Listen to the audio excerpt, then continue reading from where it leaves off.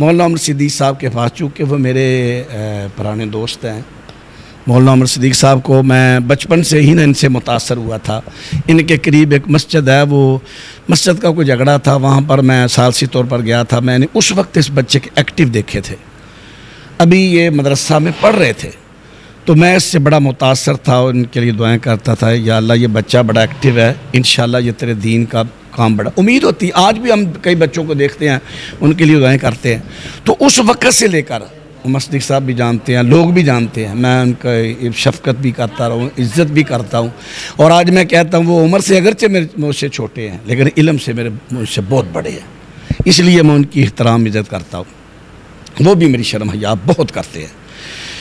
बस समझ लें कि वो शैतान का दाव लग गया। उन्होंने बताया कि मुझे कुछ फ़ोन आए थे इस किस्म के। तो थोड़ी सी उजलत होगी, जल्दबाजी होगी, वगरना वो आज भी अल्हम्दुलिल्लाह उसी तरह एहतराम करते हैं। तो मैं ये सोचा कि वो मेरे भाई हैं, चले मैंने मैंने भी उजलत से काम लिया क्लिप मैंने भी दे दिया, फिर मैंने सोचा वो हम, हमारा उनका इतना इतना ताल्लुक है जितना इंसान दूर होगा, शैतान को मौका मिलेगा। तो मेरा उनका इतना तल मैंने उनको कॉल की, मैं आपके पास आ रहा हूँ, मैं उनके पास चला गया। मगरब की नमाज़ मैंने वहाँ पढ़ी, मगरब के बाद बैठे दफ्तर में, बातें हुई। जो शकोक शुबात है उनको कहा कि मुझे दम के बारे में कुछ इतराज़ात हैं। मैंने कहा, ठीक है, हम उधर इजलास बुला लेते हैं, उलमाए कराम बुलाते हैं। जो जो आपको शिक नज़र आए, ये गैर शरी है, क्योंकि हतमी फ़ैसला ना मेरा ना आपका। शियूख आएँगे, मुफ्तियान। शियूख होंगे, आपको भी दावत देंगे। तो जो शेख कुरान सुन्नत के मुनाफी नज़र आएगी, मैं छोड़ दूँगा। और जो मुनासिब होगा, वो मैं करूँगा, सिर्फ़ ख़ुद ही नहीं करूँगा, बल्कि मेरा इरादा कि मैं अपनी जमात के क्लास शुरू करने लगा हूँ। दो दो, तीन तीन माह आलिम को, गैर आलिम नहीं, सिर्फ़ जो उलमा हैं, उनको बुलाऊँगा, खुतबा देहातों के, शहरों के, उनको ये तरीका सिखाऊँगा कि ये ये तरीका इलाज का है। ताकि अपने अपने इलाके में करें करें। मुझे पता है, मैं अब ना, पहले नहीं, अब मैं वीडियो बनाने लगा हूँ। कल से मैंने शुरू किया है, परसों से।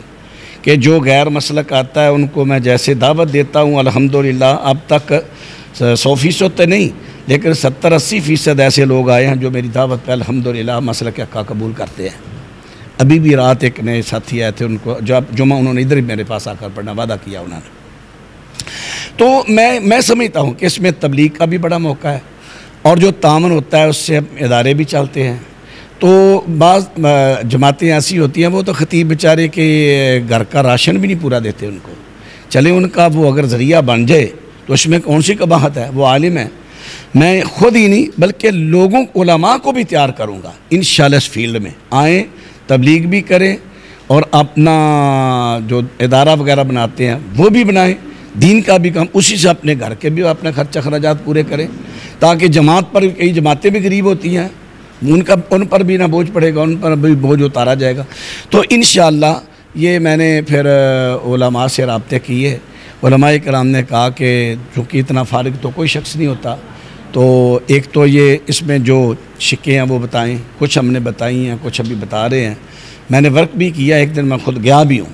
लेकिन उन्होंने कहा, एक तो मौसम की शिद्दत है रात मेरी मौलाना उमर सिद्दीक साहब से ये बात भी हुई है। मैंने वॉइस भेजा था उनको, उनका भी वॉइस आया।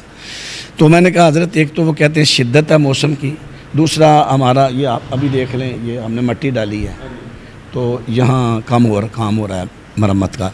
ये हमारा काम भी हो जाए, ताकि उलमा के बैठने की अच्छी जगह बन जाए। तो मौसम की शिद्दत, तकरीबन हमारा सितंबर के दरमियान में या सितंबर के आखिर में मौसम की शिद्दत के हिसाब से ना हमने प्रोग्राम तय किया है, क्योंकि ये दो चार बातें नहीं होनी। और ये जो हमने सिलसिला शुरू करना है, मेरा इरादा है, मसला ये हमारा होगा इल्मी मुजाकरा। इल्मी मुजाकरा उलमा के माबेन।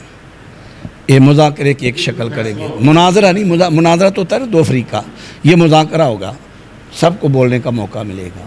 फिर आखिर पर जाकर जो हमारे मुफ्तियान होंगे, वो फैसला करेंगे। कि ये फ़ैसला है। तो दलाल के साथ करेंगे इन तो उसके बाद जो फ़ैसला आएगा, हम जो भी हमारा इख्तलाफी मौजू छेड़ा छड़ा जाएगा ना, हम उसी मौजू पर इन महाना, मेरा इरादा ये है, इधर महाना हम ये मुजाकरा कराया करेंगे, ताकि जो मुफ्तियान आखिर पर फ़ैसला करें तो जिन में इख्तलाफ शुरू हो, वो उन पर इतफ़ाक़ कर लें। इन ये मुजाकरा बड़ा फ़ायदा मंद होगा, कोई भागने वाली बात नहीं। मौलाना उमर शीख इस्ताक साहब मैं अगर आपको क्लिप सुनाऊँ तो देख लें कि उनके क्लिप के एक एक लफ्ज़ में कितना। सबसे पहले प्यारे चीमा साहब मेरे प्यारे चीमा साहब ये उनका लफ्ज़ है। रात जो उन्होंने मैसेज भेजा अब ये बताएँ इस मेरे प्यारे चीमा साहब जो इस किस्म के लफ्ज़ बोलता है वो मेरे बारे में कोई ऐसा ये किसी ने वैसे अपनी तरफ़ से कह रहे हैं कि दौड़ गया वगैरह वगैरह उनका कोई ऐसा लफ्ज़ नहीं। उन्होंने कहा कि आपको इजाज़त है। सितंबर के दरमियान में करें, सितंबर के आखिर पे करें। ज़रा थोड़ा सा जल्दी कर ले तो ज़्यादा अच्छा होगा, जो मुखालफी हैं, उनके ज़रा मुँह बंद हो जाएँगे। इतना उन्होंने कारी साहब को मैंने मैंने उसी वक्त वापसी पर कारी साहब, कारी अकबर असद साहब को कॉल की, वो तकी कर रहे थे। तो मैंने जो उनका गालबन ड्राइवर था या जो भी उनका नाम है उसको मैंने कह दिया था कि कारी साहब को कहना, हम इजलास बुला रहे हैं, उस पर आप बुलाएँगे, जो भी आपके इतराज़ात हैं, आप आएँ, करें। इन